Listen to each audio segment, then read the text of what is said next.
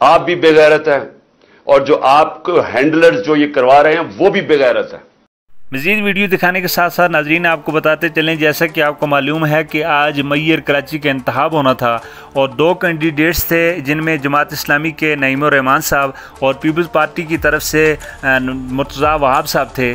اب جیسا بھی ہوا، جو بھی ہوا، پورا دن آپ بھی دیکھتے رہے۔ لیکن افسوس اس بات کا ہے کہ پیپلز پارٹی نے آج پھر انیس سو اکہتر کی یاد تازہ کروا دی۔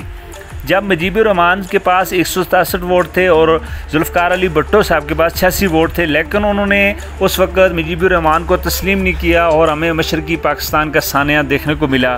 آج کچھ نام میں ضرور تبدیلی ہوئی ہے۔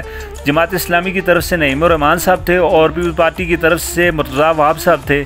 جبکہ نعیم الرحمان صاحب کے پاس اگر آپ ووٹ دیکھیں تو ایک سو ترانوے ووٹ تھے۔ ان کے ساتھ اتحادی جماعت تھی، پی ٹی آئی بھی، اور مرتضیٰ وہاب صاحب کے پاس ایک سو ترہتر ووٹ تھے۔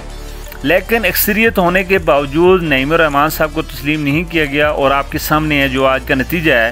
اور اس کا مین جو وجہ تھی کہ چھتیس پی ٹی آئی کے جو کینڈیڈیٹ تھے، ان کو سیف ہاؤس میں بند کر دیا تھا۔ اب سوال یہ پیدا ہوتا ہے کہ کیا اس ملک میں کوئی قانون ہے؟ کیا اس ملک میں اب بھی لوگ جمہوریت پر یقین کریں گے؟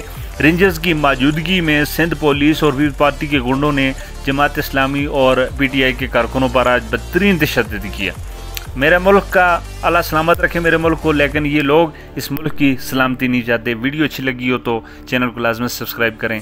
اللہ نگبان